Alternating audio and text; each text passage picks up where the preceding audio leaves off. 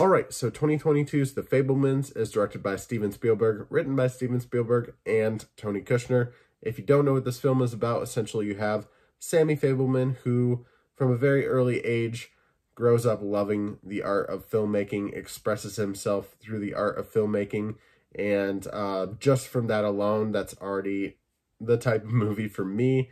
Um, you know, it's a movie about a movie, kind of, in a way. Uh, but film is something that I have loved from a very early age myself. So that's, you know, having a character like that is something I can very much relate to. Having somebody who wants to make movies inside of this movie is something I can also relate to. Uh, but on top of that, there's other things that people can relate to in this movie when it comes to, you know, maybe some issues with your family and whatnot. And, um, you know, issues with maybe parents being separated, not being separated, wherever it might be, you know. Um, there's something that a lot of people can relate to in this movie. Um, it's not just about the the filmmaking aspect of of the character of Sammy because that's really just what it is on face value. Um, what this movie really is is kind of like a character, maybe not a character study, but just like you're just spending time with these characters. It's almost like a coming of age story um, for for Sammy, but also in the background you have this story about uh, his mom and dad just kind of having issues with their marriage life and um, them packing up and moving all over the place several times throughout many years and just never really having one place to call home and on top of that just other issues that I don't really want to bring up in terms of, you know, spoilers. So I don't want to spoil anything for you guys, but yeah, there's just a lot of things in this movie that people can relate to. There's a lot of a, a lot of relatable situations in here. A lot of really just common things that that people have to deal with. Unfortunately, they're bad things for the most part, but people that you know things people go through every day. And um, I I don't know when it comes to big budget movies, when it has superheroes like Captain America and Iron Man and Thanos and they're all fighting each other and whatnot. Um, you know, there are some emotional depths to those movies, but it, it never feels personal like this type of movie does. This is the type of movie that reminds me why I love movies because it doesn't have to be necessarily building up towards something. You're just you're just living with these characters, you know, with with their day to day life and experiencing what they're experiencing and and feeling what they're feeling. And at times it can be rough, but it's real. And um, the emotions in here can be raw. But I'm making it sound like a drag. I'm making it sound really, really sad and also maybe a little bit boring. Um, which at times, it, I don't, I want to say boring, but just a little bit slow. Um, but yeah, I'll, I'll get to that in a second. Uh, the thing I want to say here is that there is actually a lot of comedy in this film. It's not a all-out drama. I mean, there are very serious moments in this movie. There are heavy moments, but I feel like they balance it really well with a lot of really, really well done comedy.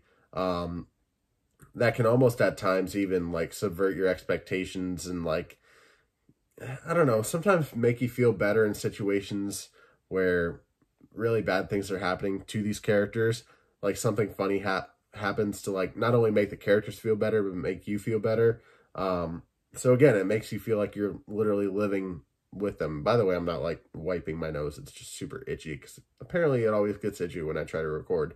Uh, but yeah, I only mentioned Gabriel LaBelle as Sammy Fabelman in this movie. We also have a huge plethora of uh, amazing actors in this movie, along with Michelle Williams as Mitzi Fabelman, the mother. Uh, we have Paul Dano as Burt Fabelman, the father. Uh, we have Seth Rogen as Benny Loewy, uh, Uncle Benny, which isn't actually the uncle, but, you know, best friend of the father, might as well call him uncle. Uh, Seth Rogen in here, I, he doesn't have a whole lot of scenes. He has a decent amount, especially towards the beginning of the film.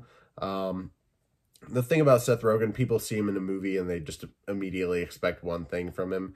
For the most part, when it comes to the kind of more serious aspects of this movie, um, he, he does do a good job, but for the most part, his character is there to, for the most part, kind of be kind of comic relief um, for the little amount of time that he is there.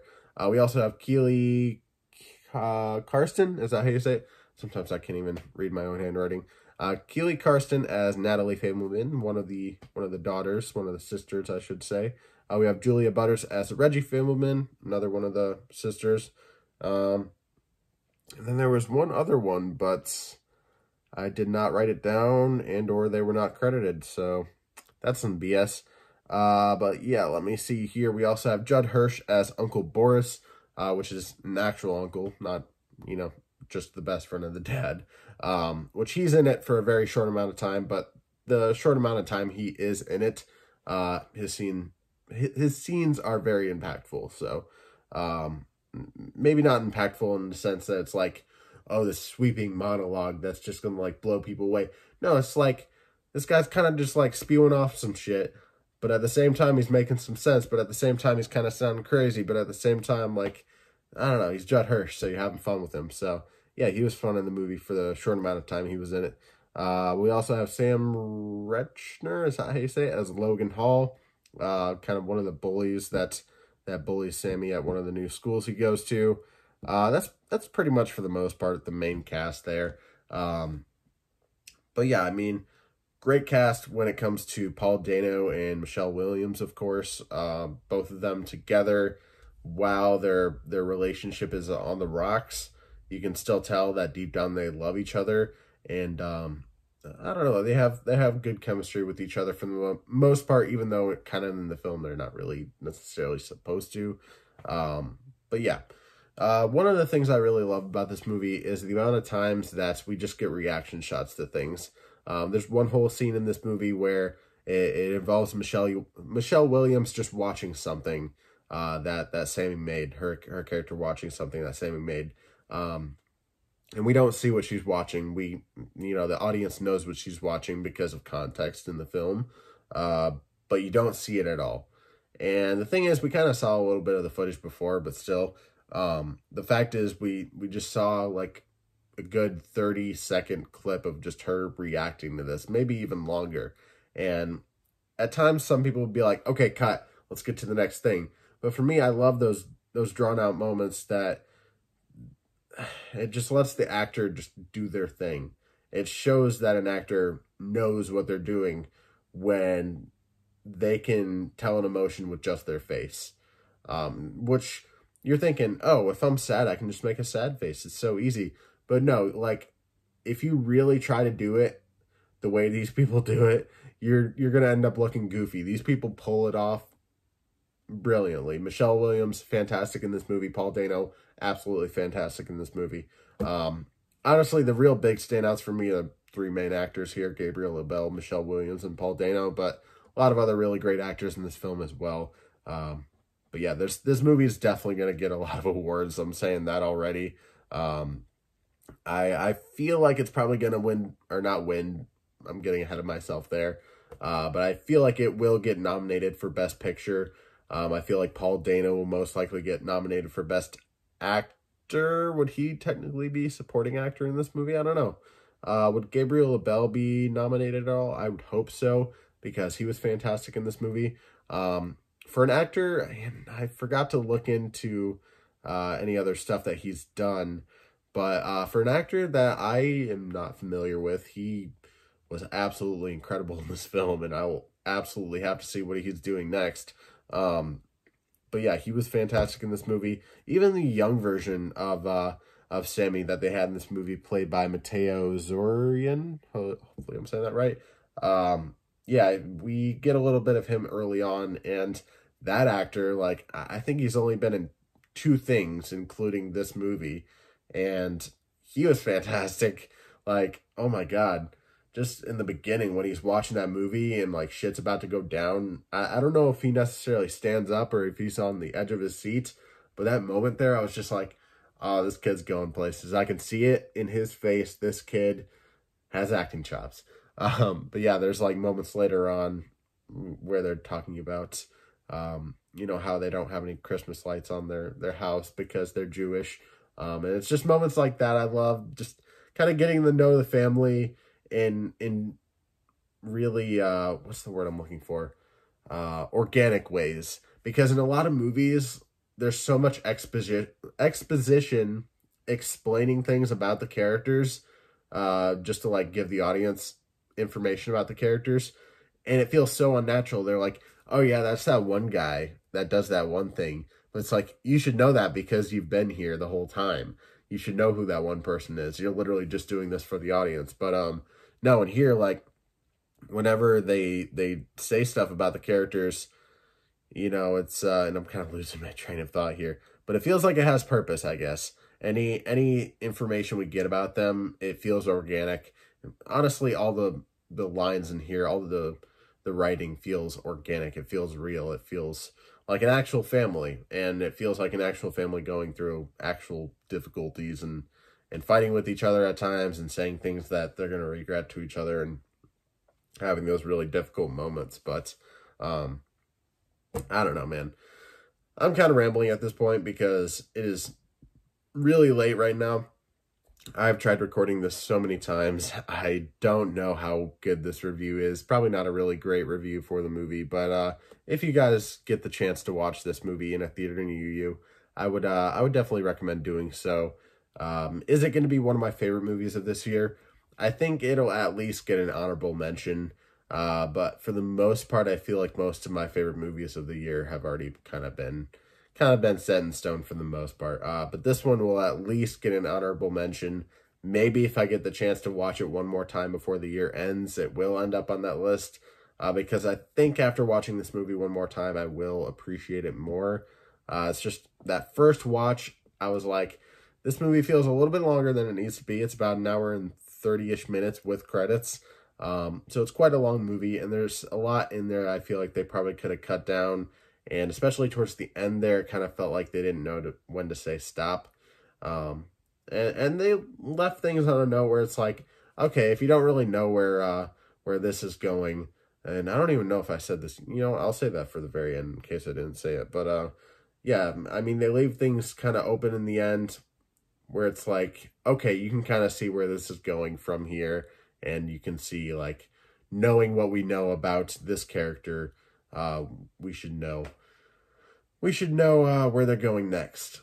So, I don't think I said this in the beginning. I've been recording for 12 minutes. I've re-recorded this so many times, and I've said this so many times, so I don't don't know if I said this in this recording. Uh, but Sammy Fabelman in this movie is essentially supposed to be a young version of Steven Spielberg. Um, I'm sure there are things in this movie that are kind of fabricated and made up for the film for the sake of entertainment. Uh, but for the most part, this is about his childhood, about his family, and about his love for filmmaking and how how it started and how it grew over the years and and how he got to where he is now.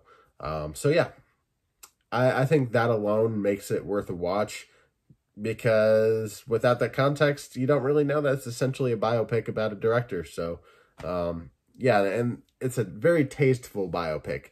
It's done where they change the name of the uh, the main character and don't make it the same as as the person who's uh who's writing it and directing it. Um, yeah, I mean, this is how they do a, a biopic right. You just make it not seem like a biopic, I guess. Um, yeah, I mean, this film does a lot of things right, um, and it does very little wrong, in my opinion.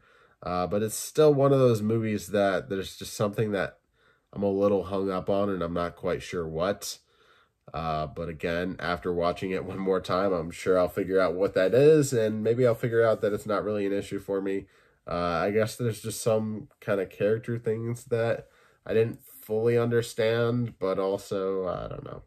I don't know. I'm not even going to try to explain what I didn't quite like about it because I'm not really sure. And sometimes I'm just not sure about that kind of shit. Uh, but yeah, I mean, still really very much worth watching um, and highly recommend watching it in the theater if you get the chance. Uh, but yeah, if you don't get the chance to watch in the theater, I think it will be available on Peacock within the next like two to three months. I know that's quite a while to wait, but hey, I mean, that's the sacrifice you're going to have to make if you can't watch in the theater. So, uh, yeah, definitely recommend this one. Uh, I don't have my movie ranking or my uh yeah my movie ranking system list nearby, so I'm just gonna give this a, a one out of ten kind of score. Uh, for the most part, I think I am gonna give this movie an eight point five out of ten. It's a very great movie. I'd highly recommend. Uh, but I am again hung up on some stuff that I just quite don't quite know what they are. Um, I don't know if you you guys have ever felt that way. You've watched something and you have some issue with it and you just don't quite know what it is. Um, but for the most part, it does a lot right, like I said. So uh, I'm gonna. I already, already said my ranking. Again, I'm very tired right now. I'm ready to go to bed like right after this. Uh, I regret starting the movie or going to the movie so late. Um, so yeah, thank you all for watching. Uh, have you seen The Fabelmans? What did you think about it? Did you love it? Did you hate it? Are you in the middle? Uh, I definitely very much loved this this movie. Um, from somebody who loves movies and the art of filmmaking, uh, this feels like a movie that was made for me. So, yeah, uh, if you can relate, definitely recommend checking it out. Uh, have you not seen the film? Do you uh, do you plan on watching it? Why or why not? Love to know down in the comments below. Really, anything you want to comment down below, I'd love to hear. And for the most part, uh, usually I do respond to all my comments. So yeah, there's that. Uh, but yeah, leave a like on the video, subscribe, hit that notification bell so you never miss an upload, and I will see you in the next one.